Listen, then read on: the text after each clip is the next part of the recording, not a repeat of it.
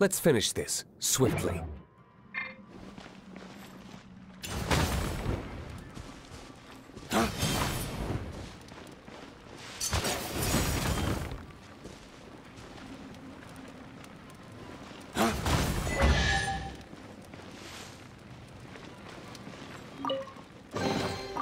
I suppose this will do.